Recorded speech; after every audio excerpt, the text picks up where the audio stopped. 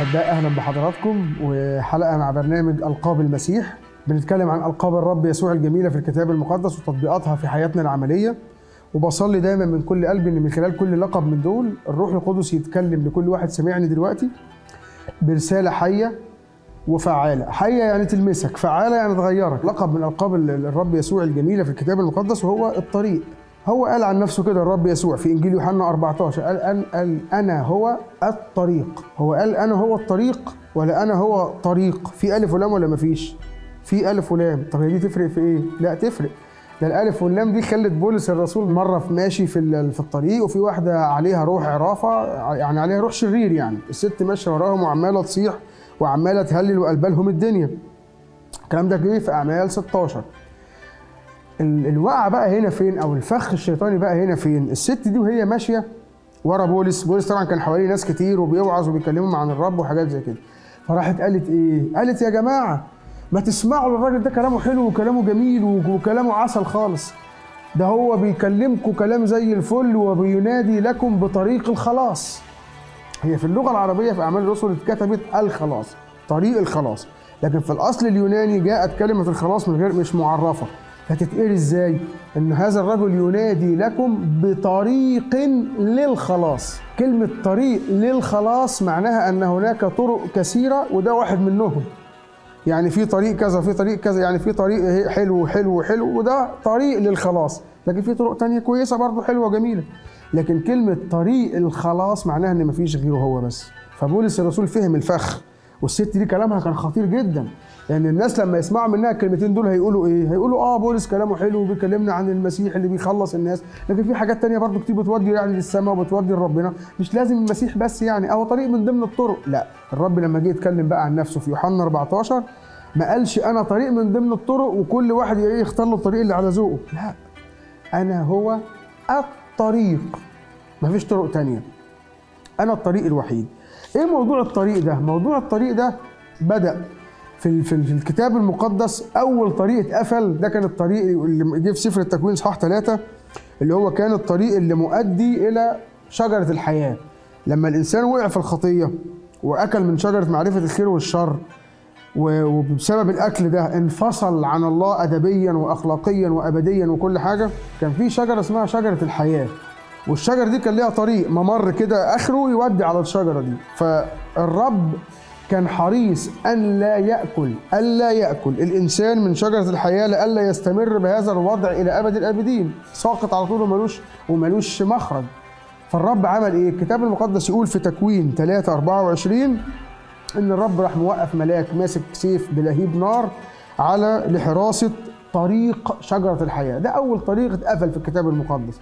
والرب قفله على البني آدم. ومن ساعة الواقعه دي أصبحت كل الطرق مقفولة في وش البني آدم. لا الإنسان عارف يلاقي طريق لتسديد احتياجاته ولا طريق للحياة الأبدية ولا طريق للخلاص من الدينونة ولا أي طريق. كل الطرق اتقفلت خلاص وأصبح المنظر ده هو منظر معبر عن وضع الإنسانية كلها. إنسانية واقفة قدام طريق مقفول. زهق برضو الرب كده من من الخطية ومن النجاسة ومن الوضع ده. فاتقالت آية برضو يعني آية صعبة جدا. يقول لك وراء الله ده كلام فين؟ ده في سفر التكوين برضه تكوين ستة.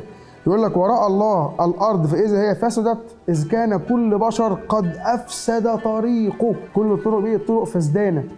عشان كده جه الرب يسوع عشان يظبط بقى الدنيا فراح قايل أنا هو الطريق. ما تخافوش إن زمان في الجنة اتقفل الطريق بالضبة والمفتاح وبقى ممنوع حد يعدي على شجرة الحياة؟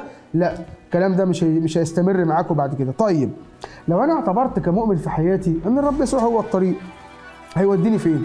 قبل ما أقول لك الطريق ده هيوديك فين؟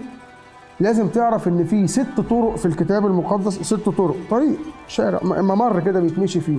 كل واحد منهم بيعبر عن إزاي الرب يسوع يبقى في حياتك هو الطريق.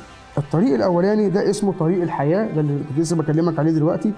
ده الطريق اللي بيودي للحياة الأبدية بيودي لشجرة الحياة اللي تخليني بالقرب من الله إلى أبد الأبدين. يا رب أنا عايز أمشي في الطريق ده.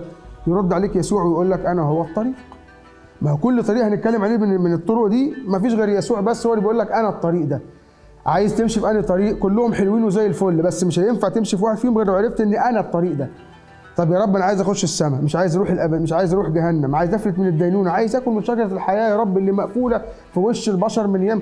فالرب يسوع النهارده بيقول لك أنا هو الطريق والحق والحياة. عارفين شاول الترسوسي اللي هو بقى بولس الرسول بعد كده؟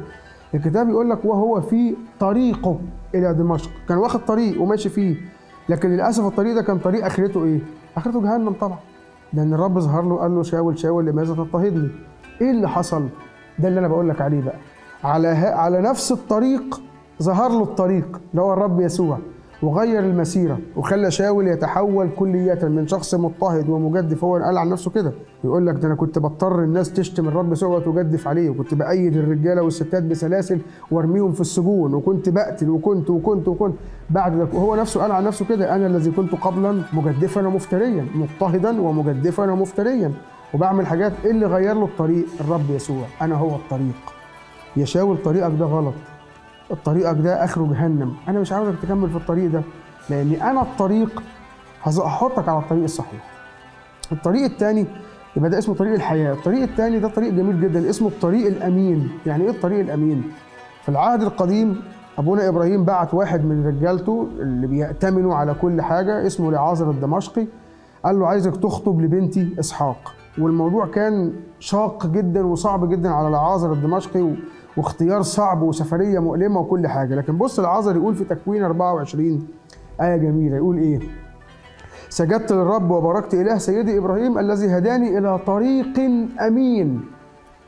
لعازر هنا صلى في بداية الطريق وحط الموضوع قدام ربنا وقال له يا رب مش هقدر أمشي في طريق بأمان طريق أمين. يعني مش طريق فيه مخاطر أنا ممكن أمشي غلط أجيب زوجة غلط تمرر حياة إسحاق وتمرر حياة إبراهيم وحياة سارة. فالعازر كان محتاج إيه؟ محتاج إنه لما يمشي في طريق الرب يهديه إلى طريق اسمه الطريق الأمين.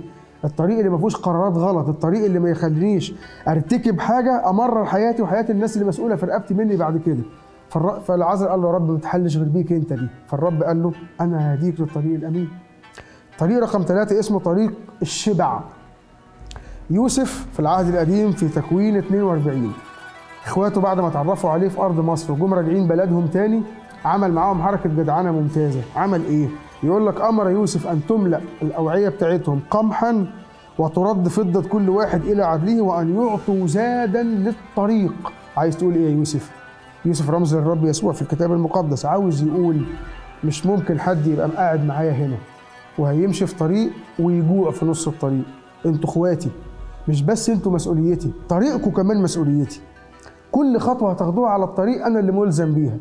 قالوا له يعني إيه؟ فهمنا يا يوسف قال لهم يعني حاشا إن أنتوا تجوعوا ولا تحتاجوا في الطريق طول ما اخوكم موجود أنا موجود أنا موجود. طب يعني هتعمل إيه يا يوسف؟ يوسف راح بص كده لإخواته نظره حب كده وعطف وقال لهم أنا أسدد كل احتياجاتكم طول الطريق. مش أنتوا ماشيين في طريق أنا اللي ممشيكم فيه دلوقتي وبعدكم فيه؟ قالوا له آه يا يوسف. قال لهم كل احتياجاتكم في هذا الطريق مسؤوليتي أنا. الرب عاوز يقول لك كده مش الرب يسوع قال عن نفسه أنا هو الطريق. طريق إيه يا رب؟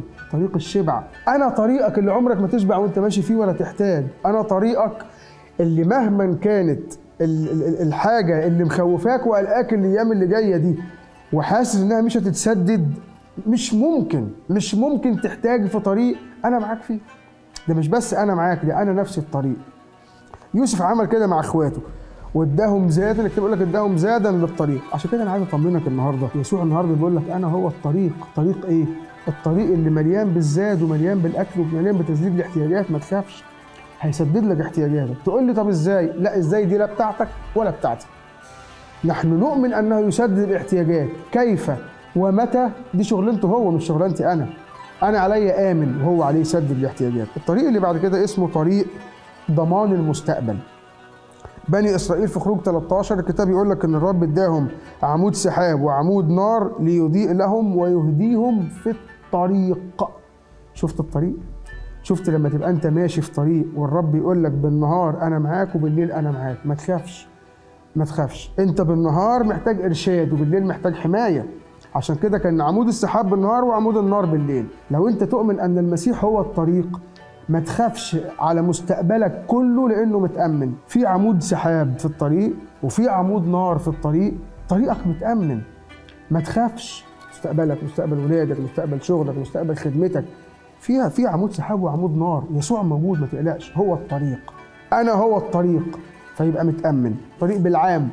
ده مشي فيه واحد من ضلالية العهد القديم من الأنبياء الأشرار في العهد القديم من من الشخصيات يعني المؤلمة في العهد القديم كان اسمه بالعام كان رايح ماشي في طريق عشان يروح يلعن شعب الله. والرب ظهر له على الطريق مرة واثنين وثلاثة واربعة عشان يحذره لكن الإغراءات المادية كانت شديدة شوية لغاية ما الرب اتدخل والملاك خلاه وقع من على الحمار اللي كان راكبه علشان يمنعه. اوعى تكون انت ماشي على الطريق ده. طريق انت عارف ان هو طريق ضد مشيئة ربنا وضد خطة ربنا بس مكمل عشان في إغراءات على الطريق. وآخر حاجة براق ودبورة دول اتنين في العهد القديم دخلوا معركة. الرب كان عايز براق هو اللي يكسب. هو اللي يخش المعركة هو اللي يقود. خلى دبورة هي اللي تخش رغم إن هي امرأة وده كان ما ينفعش في العهد القديم. لما انتصرت قالت له اسمع عقابا ليك. قال لها إيه يا دبورة في إيه؟ قالت له طالما مش أنت اللي طلعت في المعركة وإحنا راجعين في طريق النصر والاحتفالات أنا برضو اللي همشي الأول مش أنت.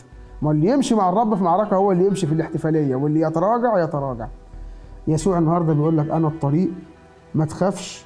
طريقك مؤمن طريقك مضمون طريقك مليان بتسديد الاحتياجات مليان بالنصرة والاحتفالات باسم الرب يسوع. لكن احذر من طريق بالعام. الرب يبارككم ويحفظكم. آمين. المسيح هو الطريق ولا طريق غيره. هو طريق الحياة للنجاة من الموت وهو الطريق الأمين للمشيئة الصالحة وهو طريق الشبع وضمان المستقبل. ولكن احترس يا صديقي من طريق الضلال والخزي بعيدا عن المسيح.